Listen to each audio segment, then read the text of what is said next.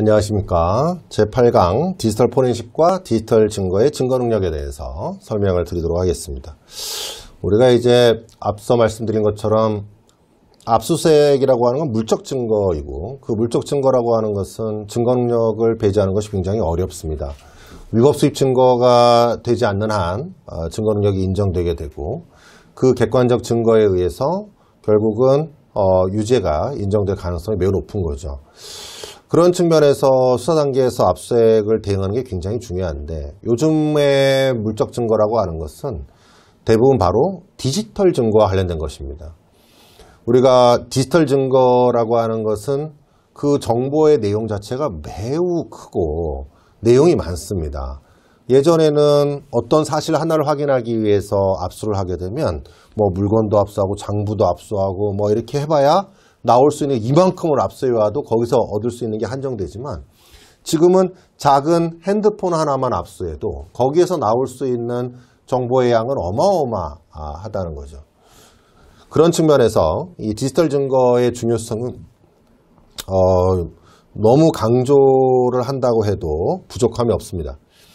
아, 디지털 증거의 개념에 대해서 좀 먼저 설명을 드리면 디지털 증거란 각종 디지털 저장 매체에 저장돼 있거나 네트워크 장비 및 유무선 통신상으로 전송되는 정보 중에 신뢰성을 보장할 수 있어서 증거로서 그 가치를 가지는 디지털 정보를 일컫는 것이다. 이런 얘기죠. 음, 유체물이 아니고 각종 디지털 매체에 저장된 전송 중인 정보 그 자체 이런 것을 얘기하겠습니다. 이런 디지털 증거의 특징에 대해서 설명을 해보면 원본과 사본의 구분이 예, 곤란하고요. 수정 및 삭제 등 편집이 용이하고 그 다음에 이진수의 어떤 신호체계로 작성 보존되어서 그 존재와 상태를 사람의 지각만으로 바로 인식할 수 없는 비가시성을 가지고 있고요. 아주 적은 저장 매체도 아까 말씀드린 방대한 분량의 정보를 저장할 수 있는 대량성을 가지고 있습니다. 어, 방대한 정보를 저장할 수 있는 이러한 좋은 점이 수사를 당할 때에는 수사의 대상이 될 때에는 굉장히 큰 불이익으로 다가올 수 있다는 거죠. 어, 이러한 점들을 통해서 디지털 수집, 증거 수집이 점점 확대되고 있고 지금은 여기에 대부분 수사기관의 수사력이 집중되고 있다. 이렇게 보셔도 되겠습니다. 디지털 증거 특유의 증거 능력과 관련된 인정 요건이 있습니다. 우리가 이제 디지털 증거라고 하는 것이 그 안에서 특히 조, 기존에는 생각할 수 없었던 동일성 쟁점, 무결성, 진정성, 신뢰성, 원본성 등의 문제가 증거 능력의 선결 조건이 될 수밖에 없습니다. 이게 이제 워낙 쉽게 변화될 수도 있고 변경할 수도 있고 그런 특성을 가지고 있기 때문에 음, 그것이 과연 어, 신뢰할 만한 것이냐 이것에 대한 판단이 중요하겠습니다. 그래서 그 중에서 확립된 것이 동일성, 무결성 요건, 그 다음에 신뢰성 요건 이렇게 예, 지금 대법원 판례를 통해서도 계속 어, 나오고 있는 내용이죠. 어, 무결성과 관련된 요 판례와 관련되어서 판례는 다음과 같이 판시하고 있습니다. 디지털 저장 매체 원본에 저장된 내용과 증거로 출력된 문건이 동일해야 되고요. 저장 매체 원본이 압수 시부터 문건 출력 시까지 변경되지 않았다는 무결성이 담보돼야 된다. 그래서 어, 이게 이제 담보되지 않으면 그 출력물의 증거를 인정할 수 없다. 이런 얘기를 하는 것이고요. 그래서 아까 얘기했듯이 압수 대상인 컴퓨터가 있고 이 컴퓨터에서 파일을 복제한 USB가 있다고 치면은 여기에 이제 파일이 여기로 들어올 거 아니겠습니까? 그러면 여기에 있던 파일과 여기에 있던 파일이 동일한가에 대한 문제가 발생을 하고 그것이 바로 인증된 해시 값의 비교로 한다 이거예요. 그래서 지금은 이 해시 값의 비교를 통해서 어, 연속성을 확인하고 동일성을 확인하고 연결성을 확인하고 있습니다. 신뢰성입니다. 신뢰성에 대해서 대법원은 어, 디지털 증거를 확보하고 분석해서 그 내용을 확인하는 과정에서 어, 전문성과 아울러 컴퓨터 관련된 프로그램 등 도구의 신뢰성도 확보되어야 된다. 이렇게 이제 얘기를 하고 있고요. 그래서 도구의 신뢰성 이것도 전제가 되어야 된다. 이런 얘기죠. 어, 이러한 디지털 증거들은 어, 증거 능력을 인정받기 위해서 이와 같은 이제 요건들을 갖춰야 되고요. 아까 얘기했듯이 디지털 증거는 특히 이 참여권, 아까 얘기했던 참여권에서 제일 중요한 게 바로 선별이라고 말씀드렸습니다. 어, 이것이 해당되는 범행 사실과 관련된 파일인지 그거를 선별하는 과정 여기에 피고인뿐만 아니라 변호인도 참여할 수 있는 권리가 있고 그 참여할 수 있는 변호인의 권리는 고유권이라고 말씀드렸고 그러한 고유권을 가지고 있음에도 불구하고 참여권을 배제하거나 참여권을 통제하지 않아서 실질적으로 적법 절차가 보장되지 못하게 되면 바로 위법 수입 증거 배제 법칙이 문제가 되고요. 그 다음에 전문 법칙에 따른 것이 있습니다. 아, 이걸 통해서 신뢰성의 요건을 적극적으로 검토해 볼 필요가 있고요. 수사기관이 각 회사에서 압수한 디지털 증거가 재판에 제출되었을 때 과연 수사관들이 그 증거의 내용을 이해할 만한 전문성이 있는지 사용된 프로그램이 올바른 프로그램인지 이런 것들을 확인할 필요가 있고요. 만약 의료과실로 인한 형사재판에서 엑스레이나 CT 사진이 디지털 증거로 압수 제출된 경우에 수사관이 충분히 재반식을 갖고 수사했는지 이런 것들을 따져서 볼 필요가 있는 것들이죠. 자, 그래서 디지털 증거와 관련되어서 어, 위수증, 위법수입 증거 배제 법칙이 문제가 되는 거고요. 우리 형소법은 위법한 절차에 의해서 수집하게 되면 증거 능력이 없도록 형소법의 명문으로 규정하고 있습니다. 그래서 압수색 절차의 적법성이 굉장히 중요하고요. 그 절차와 관련돼서 아까 앞서 개관해 드렸던 그런 내용들이 굉장히 중요하겠죠. 그 중에 문제가 바로 영장주의. 그죠? 만약에 지체 없이 영장을 받았는데 영장을 받지 않았다든지 그 다음에 해당되는 어떠한 관련법이 있으면 관련법에 규정된 절차를 준수하지 않은 거의 문제 그 다음에 위수증에 대한 예외가 있는데 그 예외 해당 여부 이런 것들이 문제가 됩니다. 수사기관의 수사는 원칙적으로 임의수사에 의하고 강제수사는 법률에 규정된 경우에 한해서 예외적으로 허용이 됩니다. 강제수사의 방법을 사용할 경우에만 영장주의가 적용되고요. 어, 이러한 영장주의로 인해서 디지털 증거를 압수함에 있어서는 영장에 기재된 장소 및 대상에 대한 집행인지 영장이 적시된 방법에 부합하는 집행인지 그 다음에 범죄 관련성 이게 중요하고요. 아까 얘기했던 그 다음에 참여권 결국은 어, 여러분이 체크해야 되는 것은 바로 이거죠. 해당되는 장소에 대한 거 맞는지 적시된 방법에 부합하는 것인지 뭐 이런 것들을 종합적으로 고려해야 됩니다. 영장이 기재된 장소에서 보면 뭐 이런 거죠. 어, 요즘은 영장을 발부할 때 에, 사무실이다. 그러면 3층이면 302호 사무실 이렇게 딱 한정하거든요. 그러면 이제 그 302호만 압수해야 되는데 이 영장을 가져와서 301호로에 가서 또 압수한다든지 이런 것들은 절대로 허용될 수가 없는 것이고요. 그 다음에 영장이 적시된 방법, 아까 야간 집행의 방법이라든지, 그 다음에 복사, 복제하라고 돼 있는데, 복제하지 않고 컴퓨터를 통째로 가져간다든지, 이런 것들입니다. 그러니까 원래는 컴퓨터에 있는 내용에서 자기들이 파일을, 파일을 복사할 저장 자체를 가져와서 복제해 가져가야 되는데, 어, 이렇게 얘기하는 거죠. 아, 이게 지금 시간이 없으니까 제가 일단 가져갔다가 거기서 해당되는 범죄사를 뽑은 다음에 다시 갖다 드릴게요. 뭐 이런 식으로 하는 거 절대 허용되지 않습니다. 그 다음에 참여권 관련된 것이 가장 중요한 아, 부분이기 때문에 신경을 써야 되는 부분이다 이렇게 말씀드리고요. 압수색 방법과 참여권이 있습니다. 여기에서 보면 별도의 규정을 두고 있고요. 피해 압수수색 당사자의 사생활 침해나 그 다음에 재산적 피해를 줄이기 위한 목적으로 디지털 정보에 대한 압수색 영장에 그 압수 방법을 현장에서 관련된 정보만을 문서로 출력하거나 수사기관이 휴대한 저장 장치에 복사하는 것을 원칙으로 합니다. 그래서 요즘은 반드시 출력 또는 복제 이렇게 되어 있습니다. 요즘 방식은 출력 그 다음에 복사하는 것을 원칙으로 하고 있다. 다만 이와 같이 하는 것이 불가능하거나 현저히 곤란한 경우는 수사기관이 입증해야 되고요. 그걸 통해서 예외적으로 저장 매체 전부를 현장에서 이미징하거나 카피해야 되는 경우에는 원본을 봉인해서 반출하도록 되어 있습니다. 그리고 이걸 사후에 분석을 하는 경우에 있어서 예전에는 이게 이런 예외적인 상황을 쉽게 인정한 바가 있지만 지금은 굉장히 쉽게 인정하지 않기 때문에 반드시 이의를 제기할 필요가 있고요. 예외적 집행방법이 사용된 경우에는 반드시 정보의 검색, 분석 단계에 이르기까지 참여권이 보장되어야 합니다.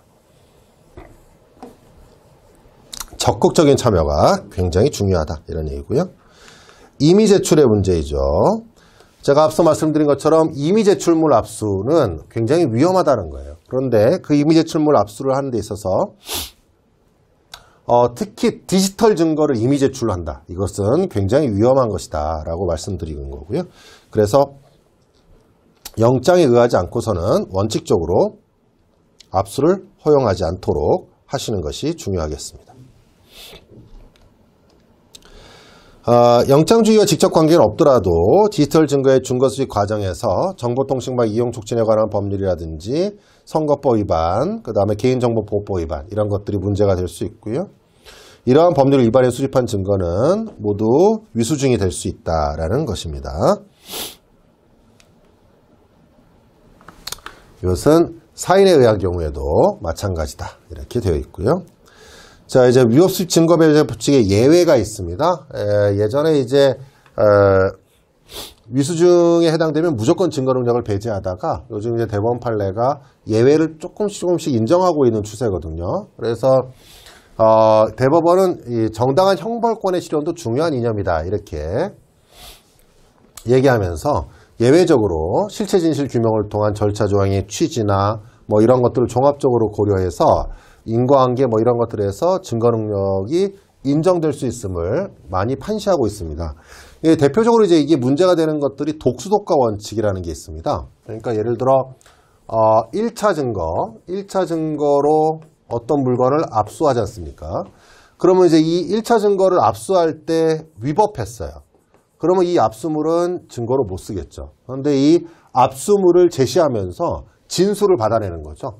이 압수된 물건을 제시하면서 피의자로부터 이 진술을 받아내게 되면 요거는 이 진술을 받을 때 자체는 위법하지는 않지만은 앞에 있는 1차 증거의 위법성으로 인해서 이게 독나무라고 하고 독수, 독과 독나무에는 독나무 열매가 열린다 이런 얘기죠. 그래서 이것도 2차 증거로 증거 능력이 없다 이렇게 이제 보는 거죠. 그런데 이렇게 해서 이제 전부 증거 능력을 날리는 것이 아니라 대법원은 여기에 예외를 둡니다. 그래서 요거와 요거 사이에 요거 사이에 시간적 간격 시간적으로 압수한 때로부터 이 진술을 받기까지 상당한 시간이 흘렀다 그러면 위법성이 희석된다는 거죠. 간격이 멀어지면 멀어질수록 인과관계가 희석되고 위법성이 희석된다. 두 번째, 이 과정에서 이 진술에 변호인이 참여했다. 그래서 변호인이 참여했다면 또 인과관계를 희석시키는 또 하나의 내용으로 어, 보고 있고요. 그 다음에 세 번째가 자의성. 이 진술자가 자기 스스로에 의했던 자의에 의해서 이루어졌다고 볼 수 있는 특별한 사정이 있다면 또 인과관계를 희석하거나 단절시킬 수 있다. 이것이 대법원 판례 입장입니다. 이렇게 해서 희석되면 요 위법성의 끈이 끊어지면서 이 진술의 증거 능력이 생기는 거죠. 자, 그 다음에 이제 디지털 증거의 예, 전문 법칙입니다. 물론 이제 법을 공부하신 분들은 어, 전문 법칙이라는 말이 쉽게 이해가 되시겠지만 이제 어, 법을 공부하지 않으신 분들의 입장에서는 전문 법칙이라는 말이 좀 생소하실 수 있으니까 간단히 설명드리면 우리는 이제 어떤 범죄의 요증 사실, 그러니까 증거를 요하는 요증 사실, 특히 이제 범행 범행 관련된 핵심 피의 사실이겠죠. 핵심 범죄 사실에 대해서 어, 이거를 직접 경험한 사람이 있습니다. 이 직접 경험한 사람이 A라고 한다면 이 A라는 사람이 법정에 나와서 아, 제가 그걸 목격했어요. 내가 저 사람한테 맞았어요. 또는 제가 때렸어요. 이런 경험 진술을 말하는 것은 직접 증거라고 합니다. 이런 건 직접 증거예요.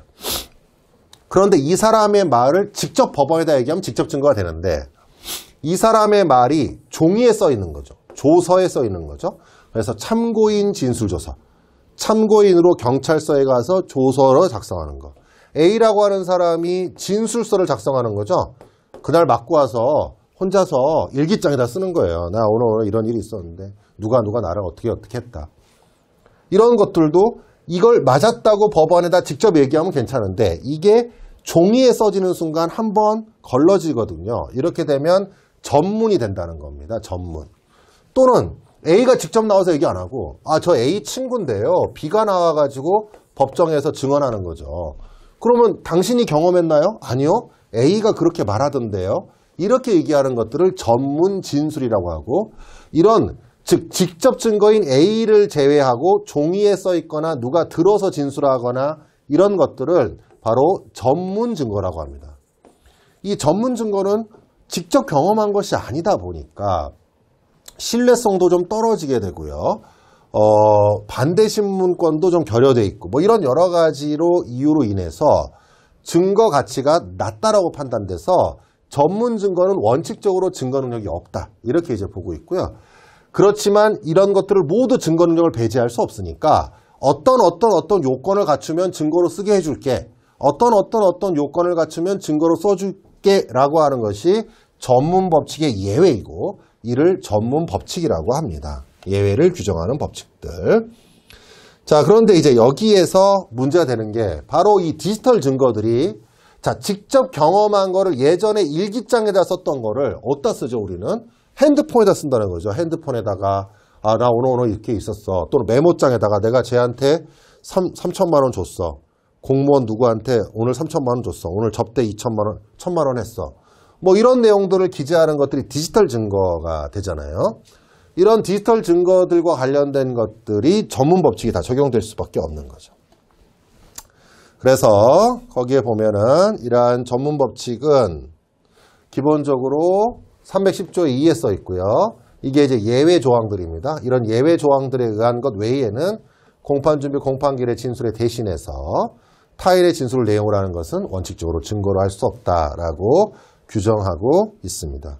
이러한 것들은 지금 이제 디지털 증거에도 그대로 적용될 수 있다라는 얘기죠. 그래서 이제 이 대법원도 대법원도 이 디지털 증거에 대해서도 전문 법칙이 적용된다. 마치 얘기하면 종이와 똑같다 이런 얘기죠. 어, 일기장에다가 쓰나 종이에다가 써도 전문 증거고 어, 핸드폰에다가 써도 전문 증거다. 똑같습니다. 아, 그래서 이제 여기에 313조가 개정됩니다. 이게 이게 대표적인 진술서 이런 게 일기장 같은 것들이거든요. 고소장 이런 것도 진술서고요. 그래서 음, 자기 스스로 작성하는 것들을 진술서라고 하는데 원래는 이제 조문에 이렇게 써 있었어요. 진술서나 뭐 이러이러이러한 것들 해놨는데 요 가로 아래는 내용이 들어가죠. 피고인 또는 피고인 아닌 자가 작성하였거나 진술한 내용이 포함된 문자, 사진, 영상 등의 정보로 컴퓨터용 디스크, 그 밖에 유사한 어, 저장 매체에 저장된 것을 포함한다. 이렇게 함으로써 명문으로 이제 디지털 증거에도 전문 법칙이 적용된다라는 것을 명확히 얘기했고요. 그렇기 때문에 이렇게 예를 들면 이런 진술서 같은 거 이게 전문 법칙이 적용되는 디지털 증거가 된다 그러면 여기에 뭐라고 써 있냐면 그 작성자 또는 진술자의 진술에 의해서 성립의 진정이 인정이 된다. 다시 얘기하면 저거 제가 쓴 건데요 라고 하는 것이 공판기일에서 어, 증명되어야 증거로 쓰인다는 거죠. 자 그런데 어, 여기에서 이제 디지털 증거로 할 수 있다라고 돼 있고요. 2항에 예, 개정돼서 또 들어가 있죠. 요 내용이 들어가면서 공판 준비 공판기일의 성립의 진정을 부인하는 경우 성립의 진정을 부인하는 경우 아 그거 제가 쓴 게 아니에요. 이런 거죠. 그거 제가 서명 날인한 게 아니에요. 제가 말한 대로 안 써 있네요. 제가 말한 대로 기재가 돼 있지 않네요. 이런 내용을 하는 게 성립의 진정을 부인한다는 뜻인데 이렇게 부인하게 되면 과학적 분석 결과에 기초한 디지털 포렌식 자료 감정 객관적 방법으로 성립의 진정함이 증명되는 때에는 증거를 할 수 있다. 이게 굉장히 위험한 겁니다.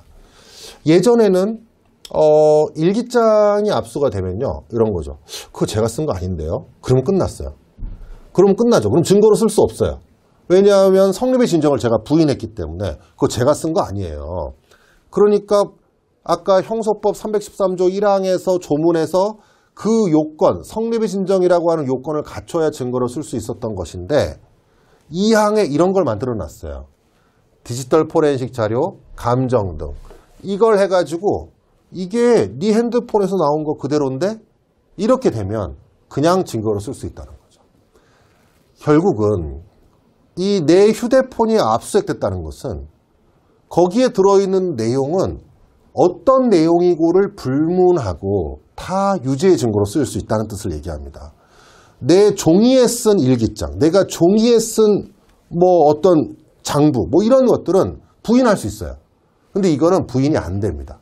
그게 디지털 증거의 무서움이고 따라서 그 증거 능력을 인정하는데 매우 엄격해야 되지만 우리는 지금 디지털 포렌식이나 디지털 증거를 압수하고 포렌식하는 게 너무 일반화돼 있고 어, 너무 흔히 이루어지고 있고요. 그거에 대한 제한도 별로 없는 편입니다. 이것은 굉장히 인권 침해적인 요소가 있고 적법 절차를 형용화시키는 문제가 있기 때문에 제한되어야 될 사안입니다. 그렇지만 수사를 받는 입장에서는 이런 부분들을 정확히 알고 대응을 할 수 있어야 되는 거죠. 인식을 하고 있어야 된다라는 것을 꼭 말씀드리고 싶습니다. 이게 디지털 포렌식 에 이제 대해서 설명을 드리면 디지털 포렌식이라고 하는 건 과학적 기술적 방법으로 증거 가치가 상실되지 않도록 하는 일련의 절차 내지 과정을 말합니다. 이걸 인정하기 위해서는 여러 가지 신뢰성 요건 이런 것들을 갖춰야겠죠. 그죠?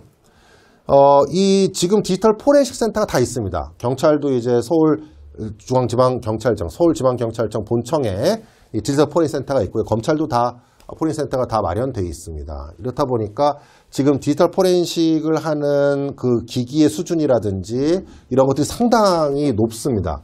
저희가 이제 뭐 카카오톡에 대해서 핸드폰을 압수하면은 카카오톡에 내가 다 삭제를 해도 디지털 포렌식 하면 다 살아나게 돼 있습니다. 그럼 어 카카오톡은 서버에 저장이 안 된다는데요? 상관없어요. 이거는 핸드폰이 잔상을 인식합니다. 그래서 휴대폰이 이 저장을 하고 있는 내용이기 때문에 삭제가 되었다 하더라도 다시 살아나게 되는 거고요. 그걸 포렌식 할 수 있는 기술들이 지금 매우 다 발전하고 있죠. 자, 그래서 디지털 포렌식의 기본 원칙을 보면 입수한 증거 자료는 적법 절차를 거쳐야 된다. 뭐 그건 당연하겠습니다. 그래서 뭐 증거 능력 아까 말씀드린 내용이고요. 그 다음에 이제 동일한 수행의 결과와 항상 같은 결과가 나와야 되는 재현의 원칙이 있고요.